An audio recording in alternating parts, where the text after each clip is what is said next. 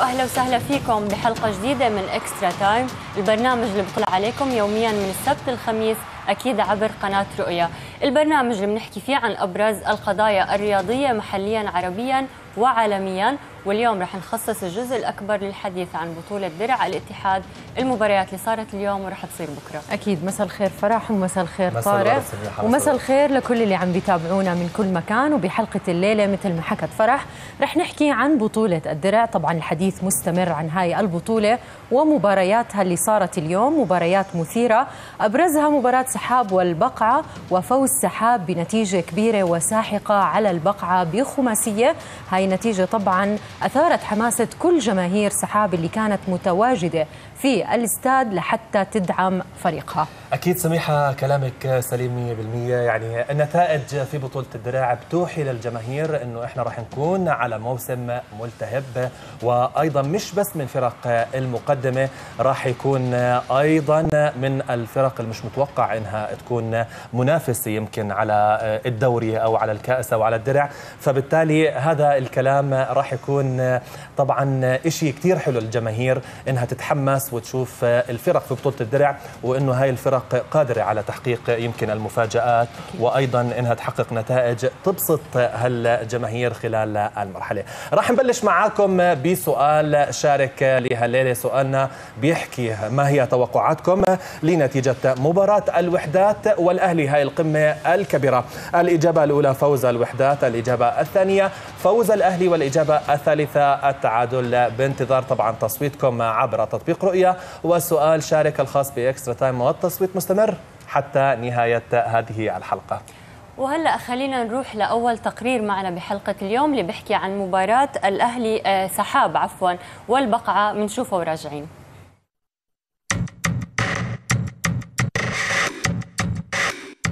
تصدر فريق سحاب الترتيب العام للمجموعة الأولى في الدور الأول من بطولة درع الاتحاد لكرة القدم برصيد ست نقاط بعد فوزه على فريق البقعة بنتيجة كبيرة بخمسة أهداف مقابل هدف وحيد. في المباراة التي جرت بينهما اليوم على استاد الأمير محمد في الزرقاء فيما تجمد رصيد البقعة عند ثلاث نقاط.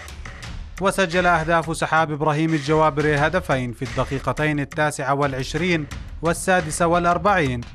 وأحمد المحارمي هدفين في الدقيقتين الخامسة والثلاثين والسادسة والخمسين. فيما اختتم أحمد عبد الحليم خماسية فريقه في الدقيقة الثالثة والسبعين بينما سجل للبقاء عودي خضر الهدف الوحيد في الدقيقة الثلاثين.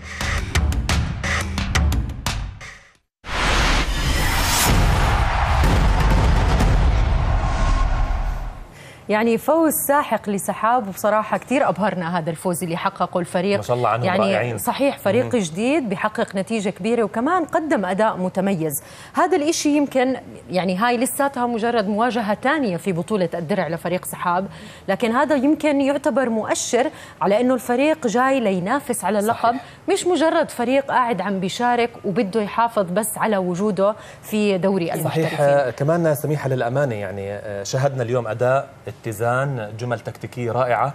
وأيضا إسلام ذيابات الكابتن والمدير الفني لفريق سحابة مدربنا الوطني القدير لمساته كانت واضحة على الفريق من خلال اللقاء الأول لهم واللقاء الثاني اليوم وأيضا التميز كان للمحارمة وأيضا الجوابرة وأيضا للعندليب أحمد عبد الحليم يعني أداء رائع من الفريق بشكل عام.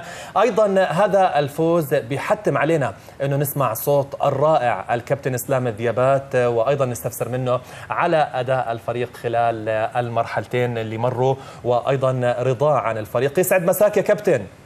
مساء الخير كابتن طارق حياك الله.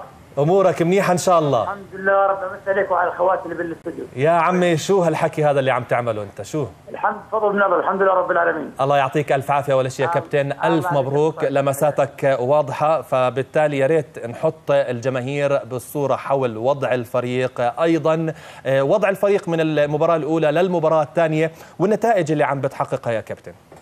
يعني بسم الله الرحمن الرحيم. بمسي عليك وعلى اخواتي اللي بال الاستوديو اولا يعني بسوى اني اشكر أبنائي وإخواني اللاعبين على الجهد برايي العظيم والبذل الذي قاموا فيه أثناء المباريات. صحيح. أقول ان تضافر الجهود الإدارية والفنية وحب اللاعبين لبعضهم والجهازهم الفني والإداري ولجمهورهم العريض يصنع الإنجاز وممكن أن يعمل الإعجاز. إدارة تعمل باحترافيه رأسها الأستاذ علي أبو حماد. نعم. أن تفوز على نادي بحجم نادي الجزيرة. بوجود محترفين. نعم. آه آه مش مش سهل. طبعا. فريق عريق فريق منسجم بكامل تفاصيله شيء جديد ويرفع سقف الطموح للسحاب أن تفوز وتقدم عرض درائي راقي جدا أمام فريق البقعة لديه لاعبين وانسجام من العام الماضي آه أيضا لا يأتي من فراغ.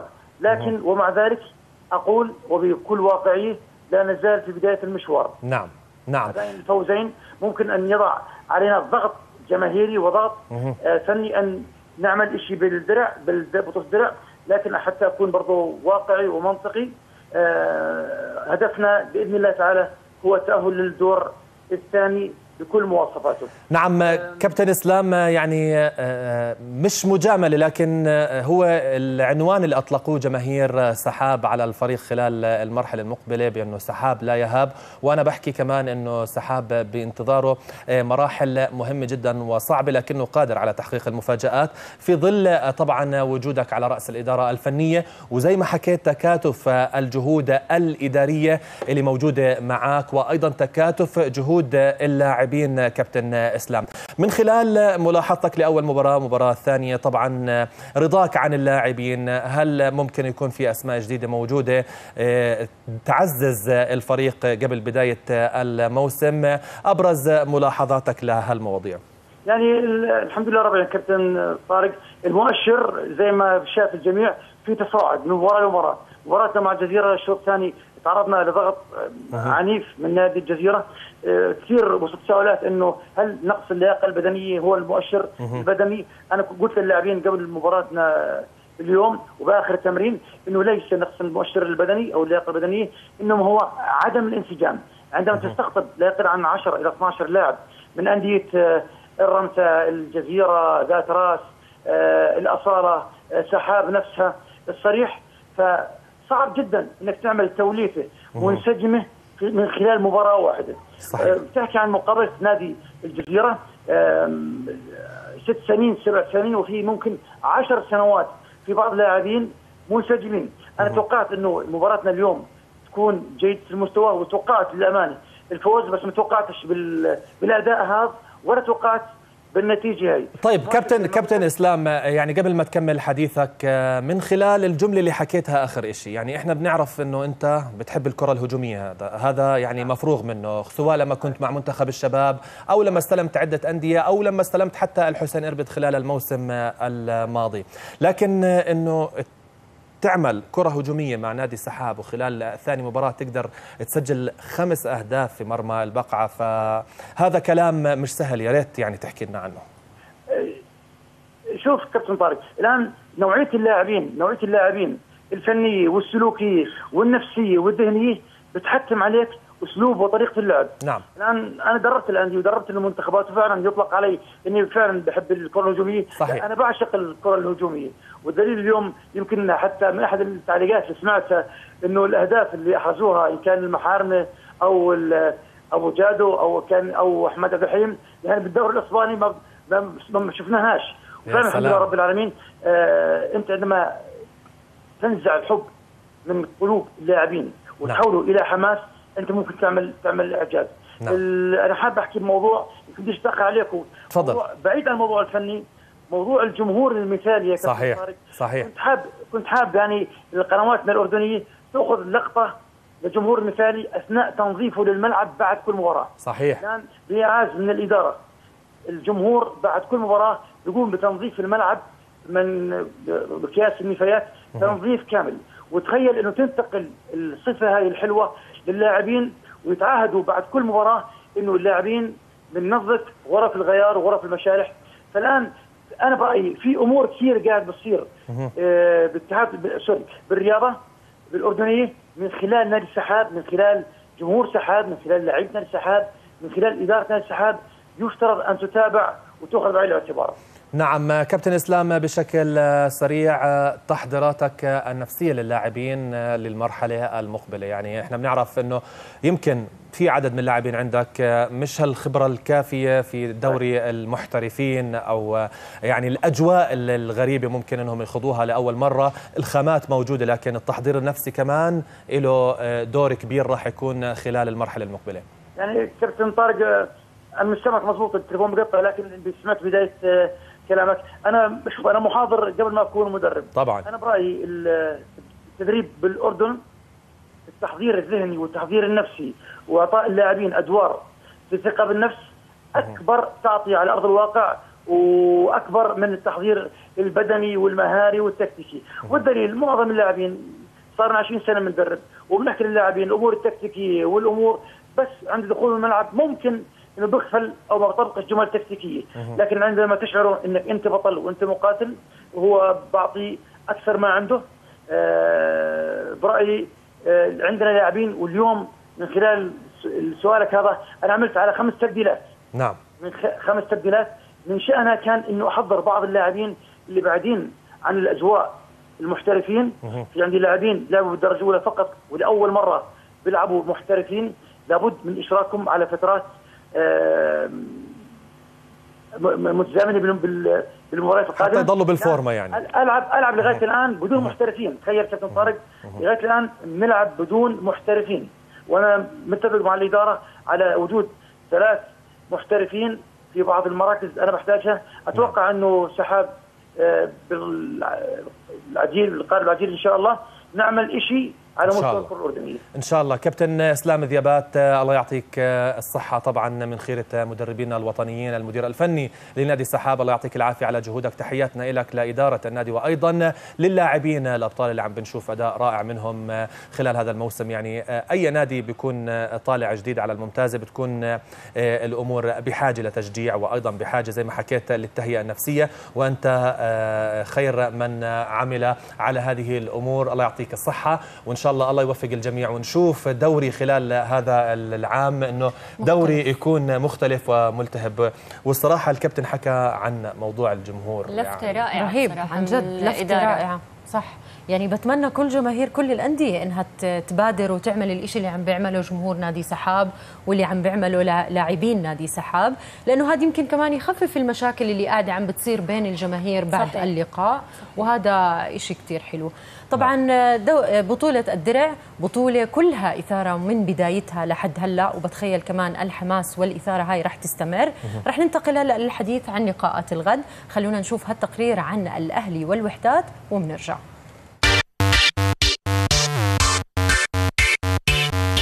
مشهد مشابه لنهائي كأس الكؤوس الذي أقيم منذ أيام حين يلتقي الوحدات مع الأهلي في الجولة الثانية من بطولة درع الاتحاد لكرة القدم على أرضية استاد الأمير محمد في الزرقاء. الوحدات الذي استعاد حارسه عامر شفيع بعد أن قرر الأخير التراجع عن قرار اعتزاله الذي اتخذه منذ أيام يسعى للفوز بنقاط اللقاء لضرب أكثر من عصفور بحجر واحد.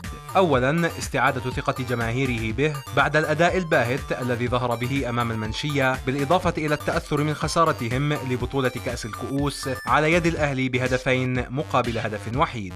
منذر أبو عمارة وحسن عبد الفتاح وعبد الله ذيب كلها أسماء يعتمد عليها المدرب العراقي عدنان حمد. بدوره الأهلي يبحث عن فوز يعزز من ثقة جماهيره به بالإضافة إلى إثبات علو كعبه على الوحدات بعد أن أقصاه في الكأس الموسم الماضي وخطف منه كأس الكؤوس. المحنك ماهر البحري يعول على يزن ثلجي والعلاونة ومحمود نرضي لضرب الدفاعات الوحداتية ولا ننسى دور الدفاع لزيد جابر وقوة حارسه فراس صالح.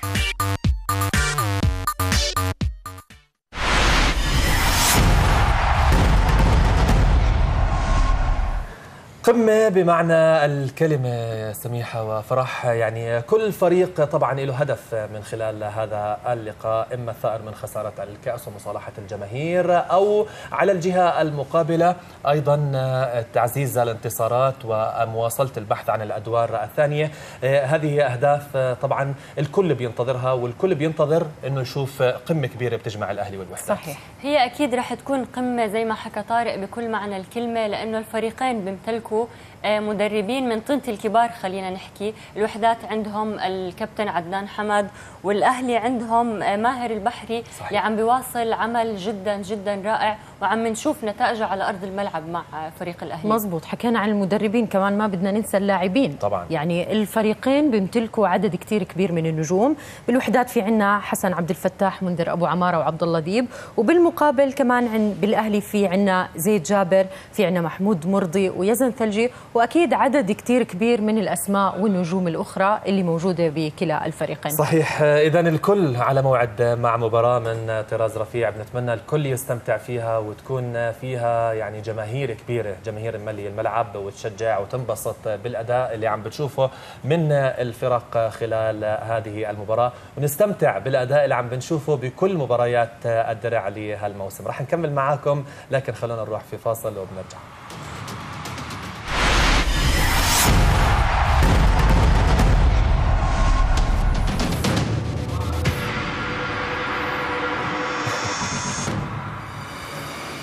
أهلا وسهلا فيكم من جديد ومكملين معكم فقراتنا بإكسترا تايم. وهلا خلينا نروح نشوف تقرير عن مباراة الرمسة وشباب الأردن وراجعين.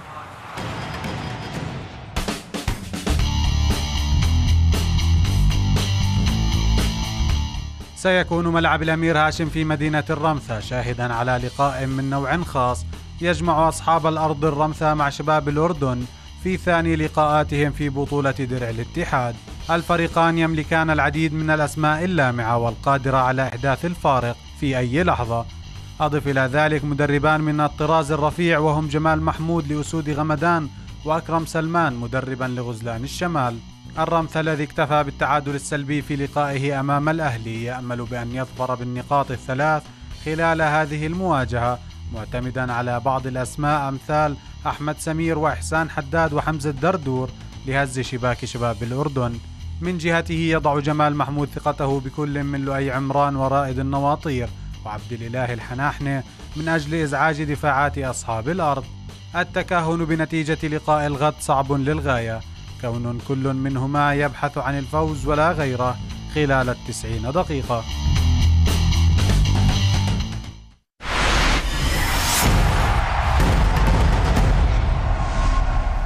يعني عادة مباريات الرمثة وشباب الأردن يعني يمكن بيطغى عليها طابع خاص. هدول الفريقين. والطابع الخاص يمكن يكون واضح وبقوة في في لقاء الغد لأنه الفريقين عززوا آه، صفوفهم بلا بعدد كثير كبير من اللاعبين النجوم والأقوياء. في عنا طبعا رح يكون أحمد سمير وسعيد مرجان بشباب الأردن والدردور من جانب الرمثة. لا هو بالرمثة بال... آه، انتقلوا وموجودين بالرمثة سعيد مرجان وأحمد, وأحمد سمير. سمير. على الجهة المقابلة أنت يمكن قصدك عن النواطير. النواطير. ضربت معك ضربت معي الأسماء. من كثر الأسماء اليوم. آه، إحنا مبسوطين كثير إنه نشوف هالأسماء موجودة كلياتها الأسماء الكبيرة بكل فرقنا الأردنيين وكل موسم. يعني آه، خاضوا تجارب احترافية لكن نشوف الفرق معززة بهالأسماء. يعني إحنا بنحكي عن أحمد سمير عن سعيد مرجان الدردور. أسماء كبيرة مع الرمثة وممكن إنها يعني تعمل الفارق خلال الموسم. لكن ما بدنا ننسى كمان على الجهة المقابلة آه، شباب الأردن والتعاقد مع النواطير التعاقد مع محمد الباشا. بالإضافة إلى توليفة ممتازة كانت مع الكابتن جمال محمود المدير الفني للفريق. وأيضا ما بدنا ننسى الإدارة الفنية للحجي أكرم سلمان على الجهة المقابلة مع الرمثة. فبتوقع مباراة تكتيكية بحتة بكرة رح تكون. اللقاء اللي راح يصير بكرة على ملعب الأمير هاشم بالرمثة اللي هو دائما بيكون طبعا صعب على جميع زائرين هذا الملعب. صح. نتمنى أنها تكون مباراة ممتعة ومثيرة وحماسية. أكيد حديثنا متواصل عن مباريات درع الاتحاد ومع المباراة الأخيرة اللي راح تصير بكرة بين ذات راس والمنشية بالتقرير التالي.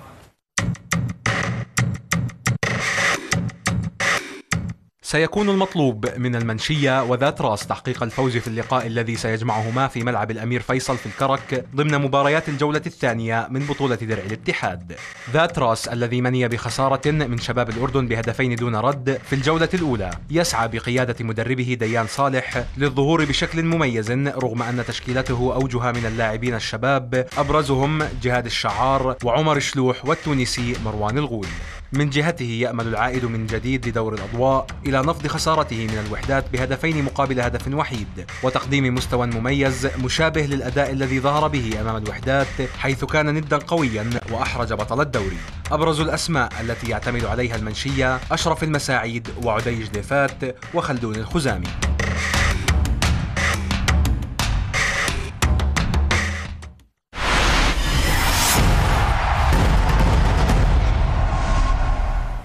يعني أكيد مباراة ما راح تكون سهلة على أي من الفريقين، الفريقين قاعدين عم يبحثوا للتعويض عن خسارتهم. صحيح. عندنا الجولة الأولى خسر فيها المنشية من الوحدات وذات راس خسر من شباب الأردن. صحيح. سميحة أيضا يعني آه، الطرفين الكابتن ديان صالح المدير الفني لذات راس أكيد بيسعى للتعويض بيعتمد على مجموعة شابه من لاعبينه أيضا بيعتمد عليهم بشكل كبير ومتفائل فيهم زي مش زي ما عم بشوف تصريحاته مؤخرا على مواقع التواصل الاجتماعي إنه متفائل بهالمجموعه الممتازة اللي موجودة معه. على الجهة المقابلة أيضا أسامة قاسم يعني خسر هو والمنشية بصعوبة أمام الوحدات فبتوقع راح تكون مباراة لها يعني نكهة خاصة.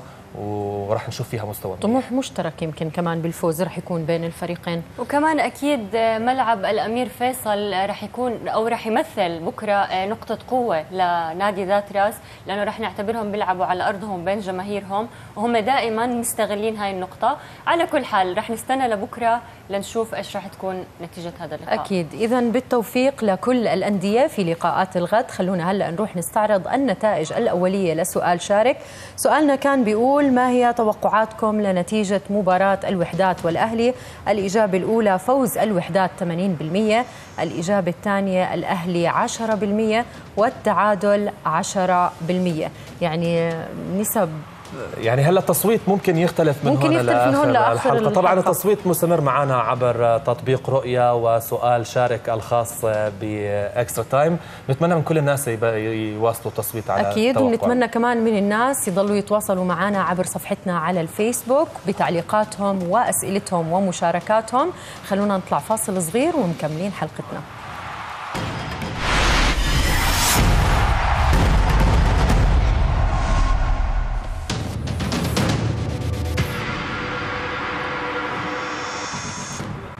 يسعد هالمساء من جديد مكملين معكم Extra Time وفقراتنا لليوم وأحاديثنا الرياضية. وقبل ما ننتقل لأي شيء بنروح لحبايبنا وأصدقائنا وعزوتنا وراس مالنا طبعا. كل الناس اللي عم بتواصلوا معنا على صفحات رؤيا وأيضا مواقع التواصل الاجتماعي الخاصه برؤيا وبتحديد صفحتنا على الفيسبوك رؤيا Sports.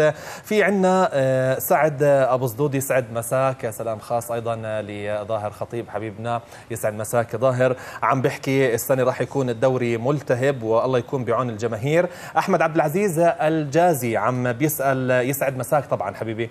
عم بيسأل عن أكرم زوي والصفقات. خلال الأيام المقبلة راح يبين كل شيء إلى الآن مفاوضات وطبعا محمد أسامة هل الوحدات قادر على الفوز؟ أنت يعني مشجع لنادي الوحدات فأنت اللي لازم تجاوبنا على هذا السؤال من خلال تطبيق رؤيا وسؤال شارك الخاص بإكسترا تايم يسعد مساك. الغالي مجاهد الحاوي يسعد مساك حبيبي. وأيضا لما الكلال عم تحكي يسعد مساكم منورين وإن شاء الله الفوز للوحدات. يزيد باشا يسعد مساك عم بحكي إن شاء الله غدا انتصار للوحدات.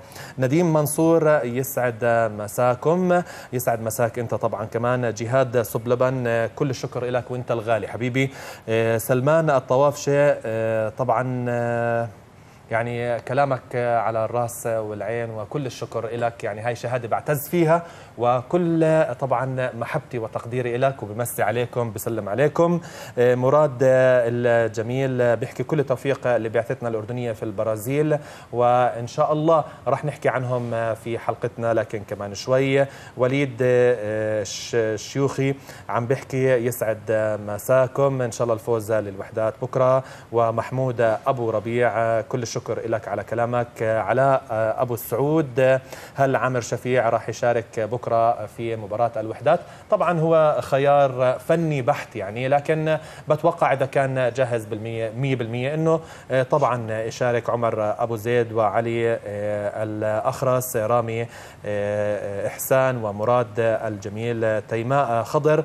يسعد مساكي ومبروك فوز السحاب عم تحكي ياسر رزق. تحياتنا لك وكل الشكر. طبعا نديم منصور تحياتنا لك وكل الأصدقاء. إن شاء الله برجع بقرأ كمان من مشاركاتكم وأيضا من كل الأمور اللي بتتواصلوا معنا فيها. وراح نروح لبطولة الدرع الخيرية الإنجليزية طبعا ولقاء كبير جمع مانشستر يونايتد وليستر سيتي. نشوف التقرير وبنرجع.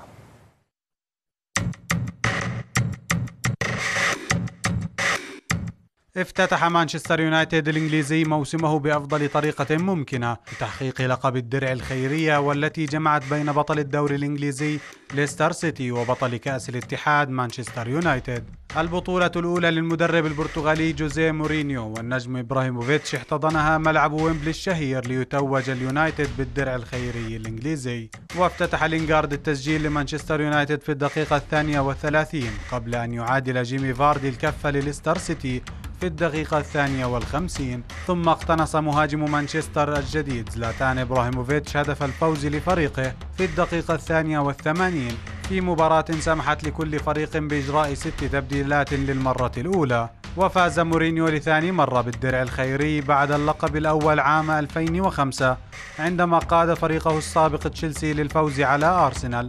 في حين أحرز السلطان إبراهيموفيتش لقبه الأول خلال رحلته الجديدة في بلاد الضباب.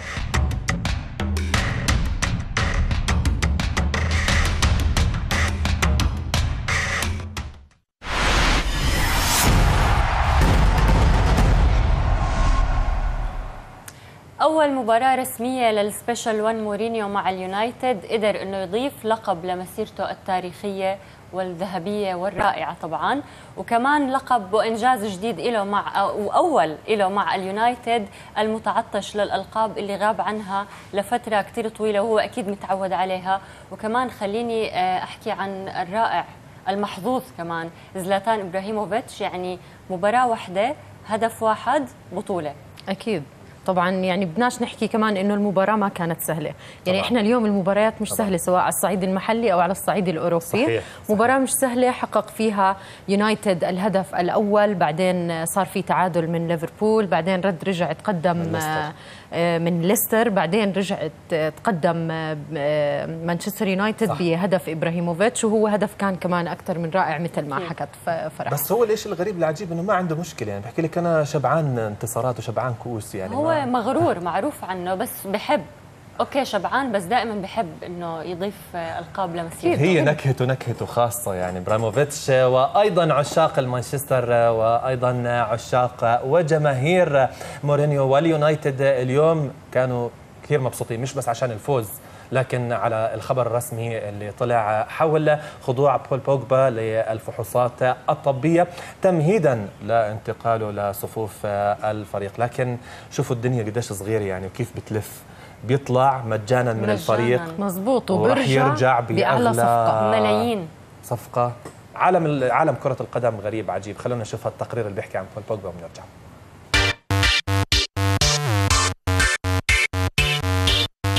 عودة بوجبا. هذا ما نشرته الصفحات الرسمية الخاصة بنادي مانشستر يونايتد الإنجليزي عن عودة النجم الفرنسي بول بوجبا إلى بيته القديم مانشستر. واقترب الفرنسي بول بوجبا من الانضمام إلى اليونايتد عقب منحه الضوء الأخضر من قبل ناديه الحالي. يوفنتوس بطل الدوري الإيطالي في المواسم الخمسة الأخيرة للخضوع للفحص الطبي مع فريق الشياطين الحمر لكن دون تحديد قيمة للصفقة. وقال مانشستر يونايتد المنافس في الدوري الإنجليزي الممتاز لكرة القدم عبر موقعه الرسمي على الإنترنت إن لاعب الوسط بول بوجبا سيخضع للكشف الطبي تمهيدا لانتقاله للفريق قادما من يوفنتوس بطل إيطاليا. وارتبط بوجبا الذي ساهم في تأهل فرنسا لنهائي بطولة أمم أوروبا الأخيرة قبل الخسارة من البرتغال بالعودة إلى اليونايتد ناديه السابق طيلة فترة الانتقالات الصيفية. وترك بوجبا اليونايتد في عام 2012 لينتقل إلى يوفنتوس ويتوج مع الأخير بالدوري الإيطالي أربع مرات متتالية. وتشير التكهنات الصحفية إلى أن قيمة الصفقة قد تتخطى المئة مليون يورو. وغادر لاعب وسط منتخب فرنسا ملعب أولد ترافورد منذ أربع سنوات لعدم اقتناع المدرب الإسكتلندي السير أليكس فيرغسون بمستواه. وها هو يعود إلى مسرح الأحلام بطلب خاص من ال special one جوزيه مورينيو.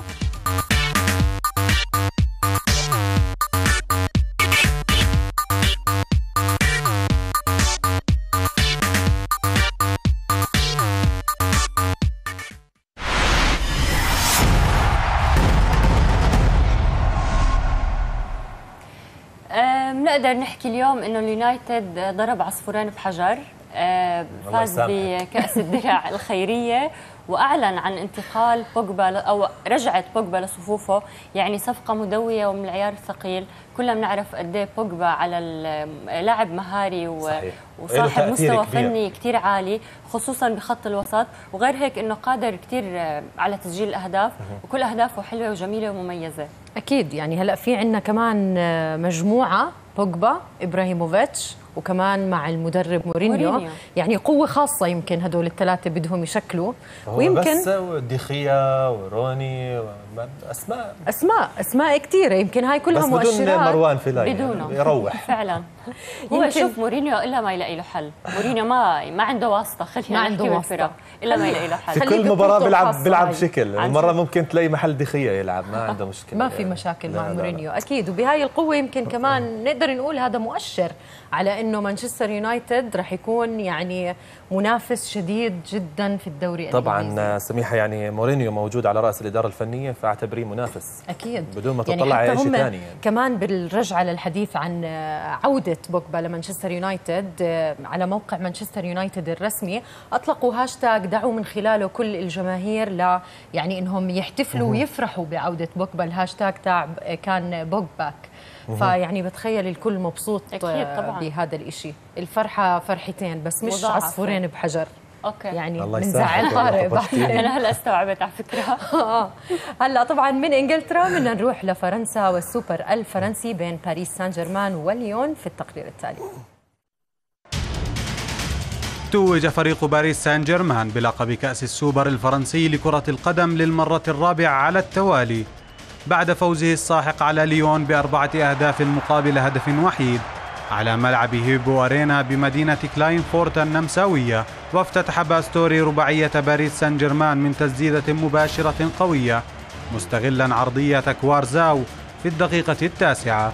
ثم أضاف البرازيلي لوكاس مورا الهدف الثاني بعد متابعة تمريرة باستوري في الدقيقة العشرين. ونجح الفرنسي حاتم بن عرفة بتسجيل الهدف الثالث من تسديدة قوية في الدقيقة الرابعة والثلاثين.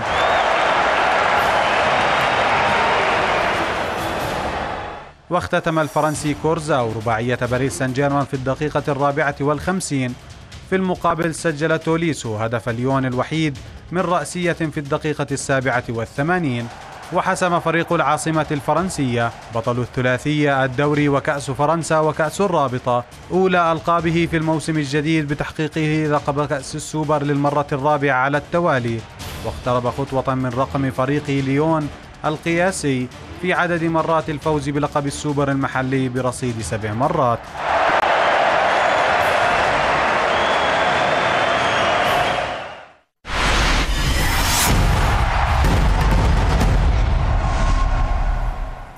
طبعا باريس سان جيرمان يواصل حصد الألقاب اللقب تلو الآخر وأيضا قوة جديدة بين طبعا للفريق بقيادة امري وهو مدرب يعني بيثبت يوم بعد يوم إنه يعني رقم صعب جدا في عالم التدريب مش سهل ابدا صحيح. وأيضا يعني قوة مالية كبيرة على خلف رئيس النادي سيد ناصر الخليفي النادي مش سهل ابدا وتحدثوا إنه في لاعب من إسبانيا وبالتحديد من ريال مدريد راح يوقع اليومين وراح هو غالبا راح يكون خيسي رودريغيز بالضبط بالضبط راح نشوف خيسي يعني عم بيلعب مع باريس لكن يعني هو باريس سان جيرمان بفرنسا بغرد خارج السرب. يعني يمكن المسؤوليه على الإدارة الفنية الجديدة إنه تعالي يا عمي إحنا هون مخلصين ألقاب إحنا بدنا تورجينا في دوري أبطال أوروبا. بتوقع هيك يعني. شوف آه، باريس سان جيرمان بعيدا عن القوة المالية ومدرب رائع زي أوناي إمري.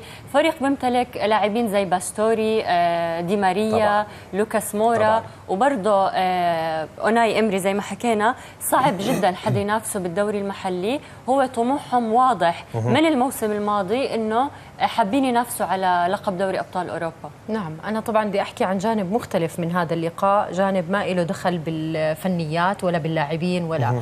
الشيء الغريب كان إنه هذا اللقاء لقاء السوبر الفرنسي ما تمت إقامته على أرض الفريقين. يعني تمت إقامته ببلد أوروبي ثاني هو النمسا. فهذا شيء غريب بغياب الجماهير. كلنا بنعرف إنه أساس المباراة أو روح المباراة ودعم الفريقين تتمثل بجماهيرهم. فكانت يعني كثير شغله غريبه يعني يمكن هي الشيء الوحيد اللي عكر مزاج المباراة كامله صحيح. يعني إنه ما كانش في جماهير. طبعا من الأجواء الفرنسية خلينا نروح للدوري الهولندي وافتتاح الدوري الهولندي ولقاءات مهمة جدا في التقرير التالي.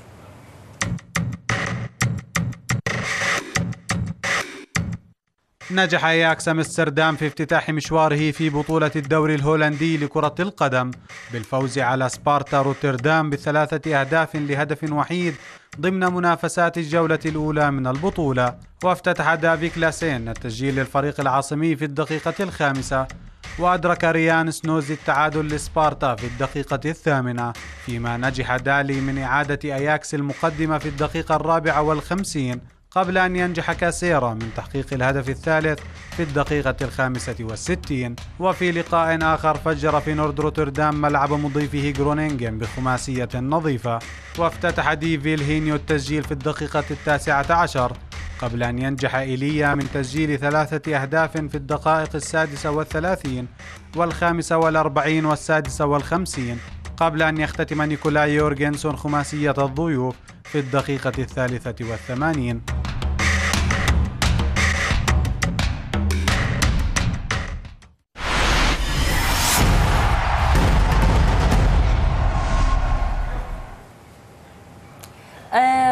الفريقين قدروا إنهم يحسموا اللقاءين لصالحهم وبنتيجة كثير كبيرة.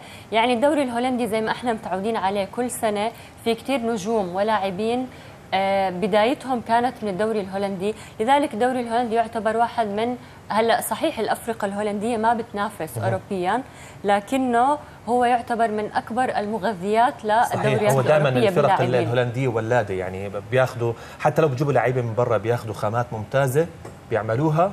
وبيبيعوها للفرق صحيح. بشكل طبعا رائع. راح أشوف شوي من مشاركاتنا على صفحتنا على الفيسبوك روي سبورتس. في عندنا عبوده زواهري يسعد مساك حبيب. كل التوفيق للأهلي. وأيضا في عندنا يزيد ونديم وعلاء أبو سعود وخالد. الطراونة يسعد مساك. إن شاء الله الله يسمع منك ونشوف آه، هذا الكلام. علي الأخرس وكل أصدقائنا اللي عم بتواصلوا معنا عبر صفحاتنا على الفيسبوك صفحة رؤيا سبورت وكل مواقع التواصل الاجتماعي الخاصة برؤيا مشاركات عديدة اليوم. يسعد مساء كل الناس اللي عم بتواصلوا معنا. يسعد مساء كل الناس اللي عم بيسلموا علينا. وأكيد مشاركاتكم محط التقدير والاهتمام دائما. خليكم دائما معنا على المتابعة ودائما على التواصل. بأي شيء يعني بيخطر في بالكم سواء عن البرنامج عن المباريات عن أي أسئلة رياضية بتحبوا أنه نجاوبكم عليها. أكيد إحنا بنكون مبسوطين لما نشوف هاي الأسئلة وهاي الشغلات وهاي الاستفسارات. تحياتنا لكم أكيد وفي لنا وقفة ثانية طبعا مع تعليقات المتابعين على الفيسبوك بس خلونا هلأ نروح فاصل صغير ونرجع نكمل حلقتنا معكم.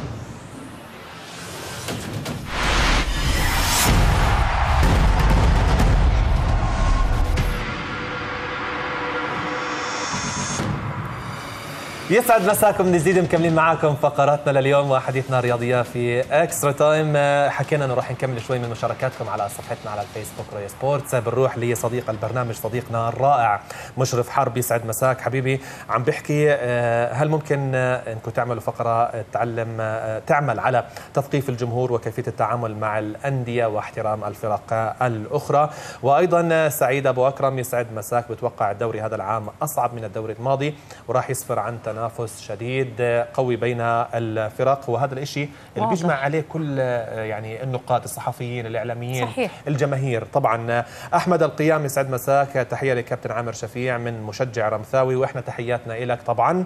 وسلمان الطوافشه يسعد مساك عم بيحكي أثبت نادي سحاب انه قادم بقوة لدوري المحترفين من خلال المستوى المميز اللي بيقدمه خلال مباريات الدرع. ولمسات الكابتن إسلام ديابات واضحة على الفريق. فارس شرف يسعد مساك عم بيحكي فريق سحاب مميز جدا وأيضا عم بيحكي إنه بنبارك للسباح الأردني خضر بقلي على الرقم الجديد اللي سجله اليوم وأيضا يعطيك العافية للمدرب القدير الدكتور علي النوايسه طبعا هذا آه، فخر لكل الأردنيين اللي سواه اليوم خضر وأنه قدر إنه يعمل هيك. رح نحكي عن هذا الموضوع أكثر لكن في آه، مشاركات من أصدقائنا على صفحة الفيسبوك. في خالد زبيدي على ما أعتقد كمان عم بيسأل على موضوع عامر شفيع منذر ابو نعم. عمارة والوحدات بشكل عام. للحديث أكثر ولأخذ الموضوع من رأس النبع. عبر الهاتف الكابتن زياد شلباي عضو مجلس إدارة نادي الوحدات. يسعد مساك يا كابتن. مساء النور كابتن. كيف أمورك؟ زمان عن هالصوت والله. حبيبي أستاذ طارق. أمورك منيحة إن شاء الله؟ دائما الحمد لله مشتاق يستاهل الحمد أكيد. كابتن الجماهير كلها بتتساءل عن إصابة تعرض لها الكابتن منذر أبو عمارة وعن امكانيه مشاركة الكابتن عامر شفيع يوم غد. وأيضا يتساءلون عن موضوع أو الإعلان الرسمي عن التوقيع مع الكابتن طارق خطاب.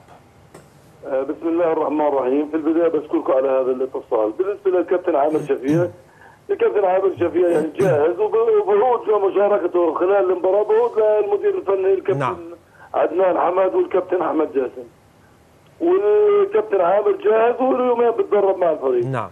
آه، بالنسبة للكابتن منذر ابو عماره يعني اليوم قبل نهاية التمرين صار معاه يعني بشك إنه صار معاه تمزق في العضله الضامه في رجله اليمين. ونتمنى من الله عز وجل انها تكون اصابه خفيفه بس يعني الملاحظات الدكتور ملاحظات آه، المعالج انه هاي تمزق في العضلة الضامة الأمامية.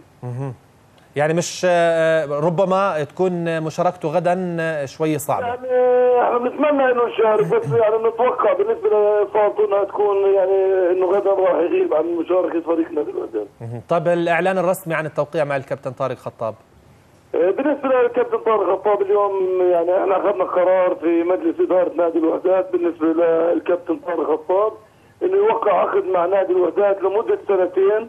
اليوم كان جلسنا معه وكان مفاوضات بيننا وبينه وإن شاء الله يعني عودته قريبة إلى نادي الوحدات. وزي ما بتعرف إنه طارق خطاب ابن نادي الوحدات من المدرسة الكروية حتى الفريق الأول. وإن شاء الله بكون ضمن فريق نادي الوحدات خلال يعني الأسبوع القادم لنا في مفاوضات على العقد ومدة العقد والمبلغ العقد ويعني آه، حق اي لاعب إنه يطلب أي طلب بده بالنسبة لعقد اللاعب.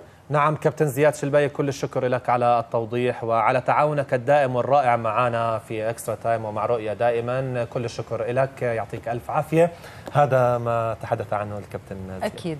إذا من الشأن المحلي رح نرجع للأندية الأوروبية اللي بتواصل استعداداتها وتحضيراتها للموسم الكروي الجديد. وخلونا نشوف هالتقرير عن المواجهة اللي جمعت ليفربول وبرشلونة. تلقى فريق برشلونة الإسباني هزيمة ساحقة أمام نظيره ليفربول الإنجليزي برباعية نظيفة على ملعب ويمبلي بإنجلترا في بطولة كأس الأبطال الودية الدولية. سجل رباعية ليفربول ساديو ماني في الدقيقة الخامسة عشر وخافيير ماسكيرانو بالخطأ في مرماه في السابع والأربعين. وأضاف ديفوك أوريجي الهدف الثالث في الدقيقة الثامنة والأربعين. وماركو سجل هدفا جميلا في الدقيقة الأخيرة برأسية. سكنت الزاوية اليمنى للحارس برافو.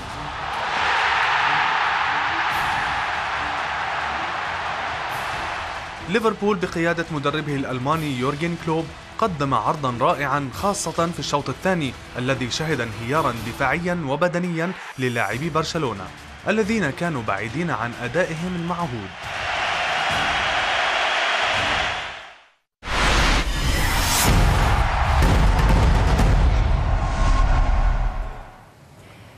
فوز كاسح وغير متوقع صراحة لليفربول على برشلونة برباعية نظيفة تحت قيادة مدربه الألماني الرائع يورجن كلوب.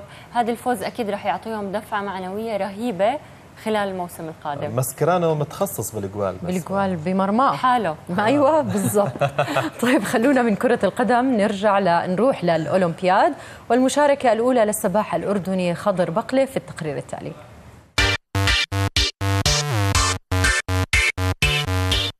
نجح السباح الأردني خضر بقلة بتحقيق المركز الأول في مجموعته التأهيلية في سباق 200 متر حرة رجال في دورة الألعاب الأولمبية ريو دي جانيرو. وحقق خضر زمن قدره دقيقة و48 ثانية و42 جزءا من الثانية ليحتل صدارة المجموعة.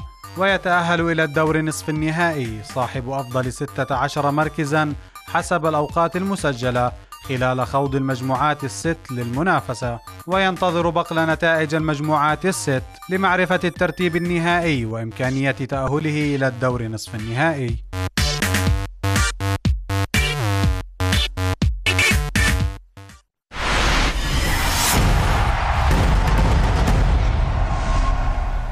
يعني كلنا فخر بما قدمه خضر بقلة في آه، الأولمبياد. حلو أن نشوفه. حقق المركز الأول على مجموعته لكن للأسف الرقم اللي حققه ما راح يخليه يتأهل, يتأهل للأدوار الثانية. لكن آه، بالفعل يعني لما شفناه أنهى السباق وشفنا آه، بالجرافيكس كيف عم بيطلع الاسم والعلم على المية ونشوف علم الأردن مكتوب عليه رقم واحد بالبداية. فيعني الواحد هيك يعني يعني بدنه بيتحرك إنه يا ربي شو هالإنجاز الحلو. مزبوط. كنا متمنيين إنه يكمل أكثر لكن يعني المرات الجايه إن شاء الله يكمل بالرياضات الأخرى. تعاد الدول الخير في الجايات. الخير في الجايات ولسه في عندنا مشاركات في رياضات أخرى. فإن شاء الله يقدر أحد الرياضيين الأردنيين إنه يحقق إنجاز ويتقدم ويتأهل في الأولمبياد. وكمان نتمنى التوفيق لشقيقه السباح خضر اللي هي خليتا أظن صحيح. عندها صحيح. مشاركة بعد كم يوم. صحيح. بنتمنى التوفيق لكل الرياضيين الأردنيين المشاركين بهاي الدورة. مزبوط. خلونا هلأ بدنا نطلع نشوف تقرير عن آه، تحقيق أول ميدالية ذهبية لسباقات السباحة. بنشوفه وبنرجع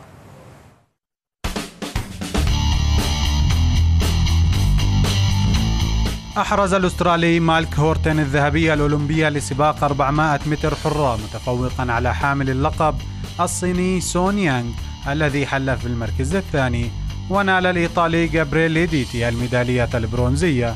ورغم تصدر البريطاني جيمس جاي في أغلب فترات السباق لكن هورتن نجح في خطف الميدالية الذهبية الأولى لأستراليا في الأولمبياد. ويشارك السباح الأسترالي في الأولمبياد لأول مرة وسينافس أيضا في سباق 1500 متر حرة وسباق التتابع 4 في 200 متر حرة.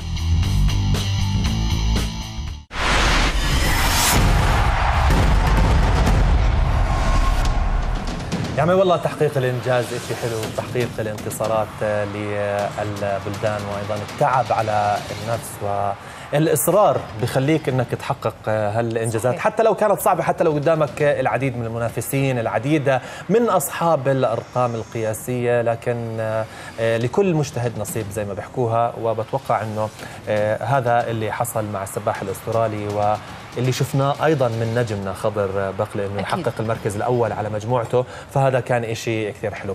طبعا أصدقائنا راح نروح لنتائج النهائيه من سؤال شارك لهالليله سؤالنا كان بيحكي توقعاتكم لنتيجة الوحدات والأهلي الأولى فوز الوحدات وصلت النسبة فيها إلى 70% الإجابة الثانية فوز الأهلي 25% والتعادل 5% وأكيد التصويت بيتم عبر تطبيق رؤيا سؤال شارك الخاص بإكسترا تايم. نتمنى كل التوفيق لجميع الأندية بلقاءاتها يوم غد. ولهون بنكون وصلنا لنهاية حلقة إكسترا تايم اليوم. نستناكم بكرة بحلقة جديدة الساعة 11 تصبحوا على خير.